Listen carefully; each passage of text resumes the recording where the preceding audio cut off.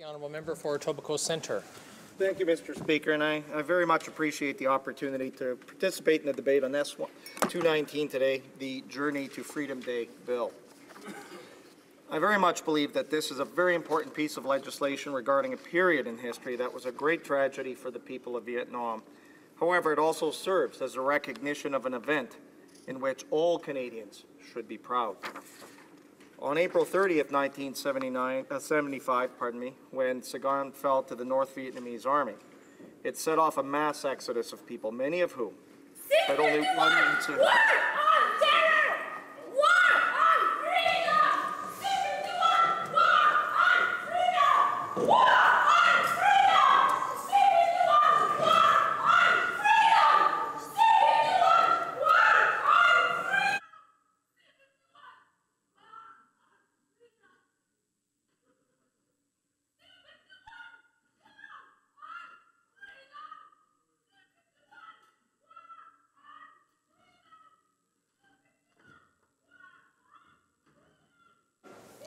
The uh, House will suspend for one, one moment.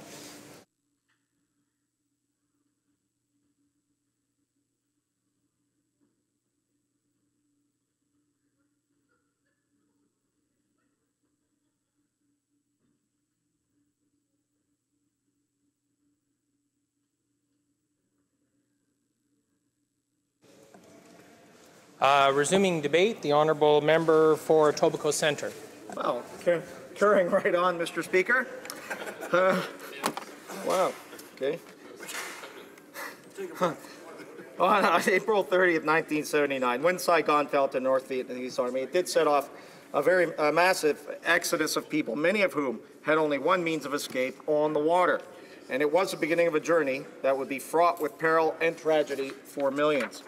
In the first few years that followed, a few thousand made their escape from the communist regime, but by 1978 to 1979, these Vietnamese refugees were fleeing from their homeland by the tens of thousands. They arrived in a number of neighboring countries such as Malaysia, Indonesia, Thailand, the Philippines, Singapore, and Hong Kong. Their plight created a massive humanitarian crisis across Southeast Asia as many refugees left in overcrowded boats that were, in many cases, unfit to withstand the harsh conditions of the stormy seas.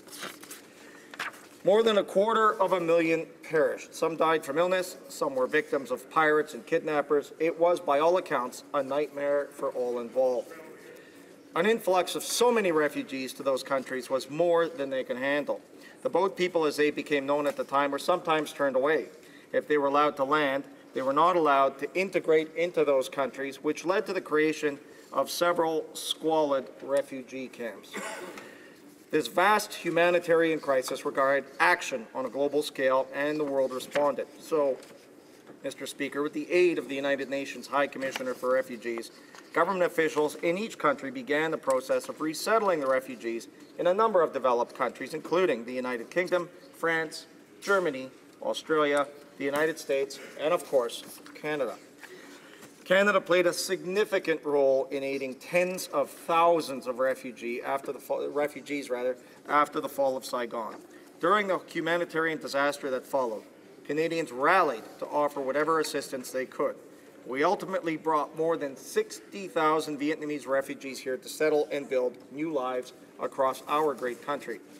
It is estimated that 34,000 were sponsored by Canadian families, Canadian charities, religious groups, and non-governmental organizations, while another 26,000, Mr. Speaker, were assisted by the Canadian government. The arrival and resettlement of the Vietnamese refugees in Canada is a shining example of how Canadians responded to a global calamity. Canada's compassionate response included families, church groups, and community organizations who took the refugees into their homes, helped them find a place to live, to find employment, and get their kids into school. This exemplary moment in Canada's history of humanitarian protection was a contributing factor to the United Nations High Commissioner for Refugees awarding its Nansen Refugee Award to the people of Canada in 1986, and it was the first and only time that this prestigious medal was awarded to an entire nation.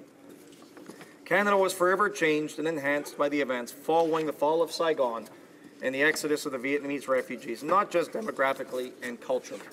In addition to the development of a strong and vital Vietnamese Canadian communities thriving in many cities across Canada, the Government of Canada enshrined its private partnerships of refugees programs in a fundamental part of Canada's refugee and humanitarian resettlement program. The community and church groups that sponsor refugees to come to Canada continue their compassionate work today to the betterment of Canada, refugees, and their families from around the world. Mr. Speaker, this bill would designate April 30th as Journey to Freedom Day in Canada, and it would honor our Vietnamese Canadian population by showing our support to a community which has flourished in this country, economically, culturally, and socially. The Vietnamese community in Canada have demonstrated their loyalty and their love of Canada. We are building on a tradition of commemoration well established in communities of displaced Vietnamese people from across the globe. It would also be a significant day for all Canadians, many of whom united in the mid to late 1970s in the face of a humanitarian catastrophe to welcome more than 60,000 Vietnamese refugees to a new land, a place to call home. It was an inspiring time as the Government of Canada and the people of Canada exhibited their humanitarian spirit to the world. All Canadians deserve a day to remember, to show their considerable efforts and to show the world that we are a caring and a compassionate nation. Journey to Freedom Day would not be a legal holiday nor a judicial day, but a day that would solemnly acknowledge the events of that dark time in history with respect to the sorrows of those refugees who were lost to illness, malfeasance, or the cruelty of the turbulent sea. It would also be a day with deep sense of hope for those who became Canadians and a strong sense of pride, Mr. Speaker, for those who helped make that happen.